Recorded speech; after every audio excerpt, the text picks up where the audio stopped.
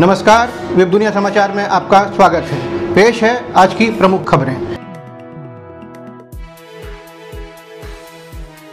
दिल्ली में आम आदमी पार्टी सड़सठ सीटों पर विजयी, भाजपा तीन सीटों पर सिमटी। दिल्ली विधानसभा चुनाव में सड़सठ सीटें जीतकर आपने नया इतिहास रच दिया है। दिल्ली के राजनीतिक इतिहास में यह अब तक की सबसे बड़ी जीत है।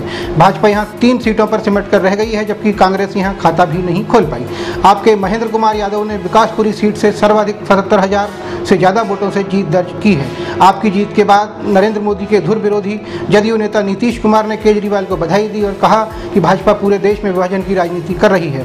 अमर्यादित राजनीति, इनकी पूंजी बन गई है। राजद नेता लालू प्रसाद यादव ने आपकी जीत को सेकुलर ताकतों की जीत बताया है। भाजपा के सहयोगी दल शिवसेना नेता उद्धव ठाकरे ने कहा कि मैंने अरविंद केजरीवाल को फ़ोन कर जीत के लिए बधाई दी है। उन्होंने परोक्ष रूप से मोदी पर निशाना साधते हुए कहा कि दिल्ली की जनता ने नतीजों से केंद्र के सत्ताधारियों को कड़ा संदेश दिया है।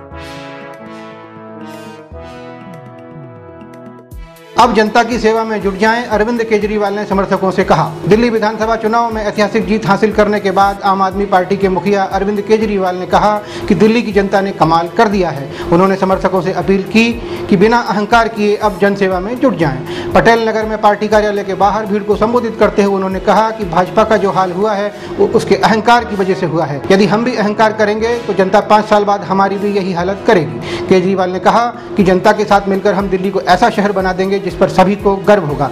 मैं दिल्ली की जनता को सलाम करता हूँ। आपकी आंधी में किरण बेदी समेत कई दिग्गज धराशायी। दिल्ली विधानसभा चुनाव में आपकी आंधी में कई दिग्गज धराशायी हो गए।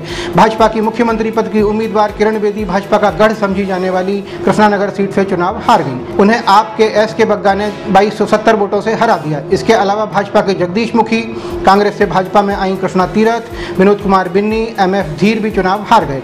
कांग्रेस के वरिष्ठ नेता अजय माकन, पूर्व मंत्री हारून यूसुफ, राष्ट्रपति प्रणब मुखर्जी की बेटी शर्मिष्ठा मुखर्जी, किरण वालिया अपनी जमानत भी नहीं बचा पाए। कुल तिरपन सीटें ऐसी रही जहाँ कांग्रेस उम्मीदवारों की जमानत जब्त हो गई। ये थे अब तक के मुख्य समाचार। और ज़्यादा जानकारी के लिए लॉगिन कीजिए हमारी वेबसाइट डब्ल्यू नमस्कार।